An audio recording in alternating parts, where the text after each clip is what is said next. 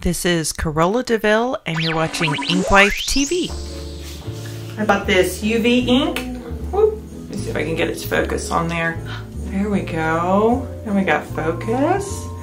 I've never used the UV ink before, so we're going to try it today and put it under black light and see what happens with it.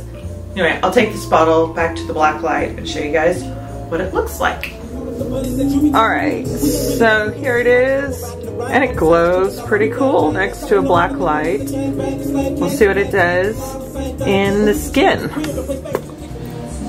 So the first thing I noticed about this ink is that it's way more watery than the kind of ink that I'm used to using. And I've checked the bottom and there's no settlement down there.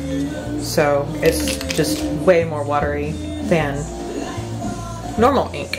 Anyway, like Eternal or something else like that. Anyway, I've used watery inks before and they work well. So that doesn't always mean the pigment is thin, but um, I usually like something thicker. Haha, no, no pun intended. Here we go. This is Zoe. Zoe is my uh, guinea pig on this today.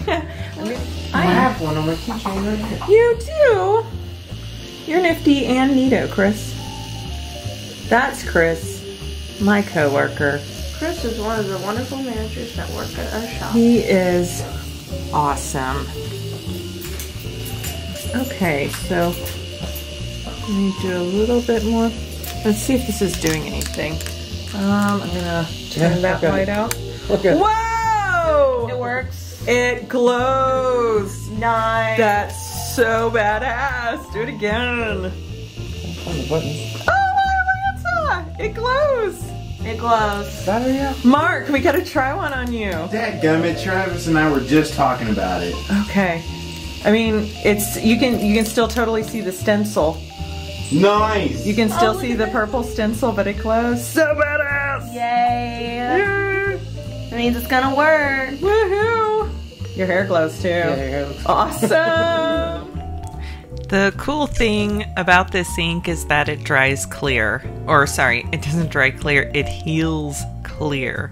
So, tattooing with it really is kind of like just tattooing with water. You cannot see anything at all while you're using it. But, um, the point I'm making is that because it heals clear, there is no better excuse to get a little penis tattoo if you're going to. You know, why not? So one of our coworkers uh, volunteered to get a small UV light penis tattoo on his wrist, and there it goes. Anyway, we're we're uh, we're dumb most of the time and just enjoy goofing off. As I said before, I've never used UV light ink, and um, so this was a new experience. I tried tattooing with it the first time, you know, with just with no black light, just kind of, you know, following the lines as best as I knew how to.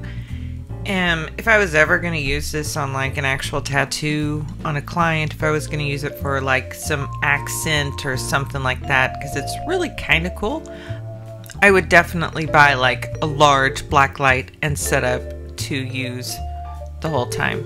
But the whole point of this video was just to see if it works. And, you know, I didn't have a client on this particular day when the ink came in, so we just lined each other up and goofed off for a little bit. Anyway, it was a whole lot of fun.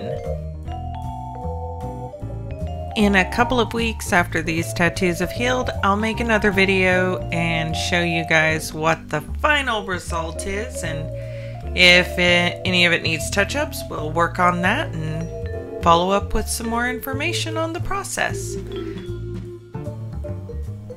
Thank you guys for watching. I'll see you next week.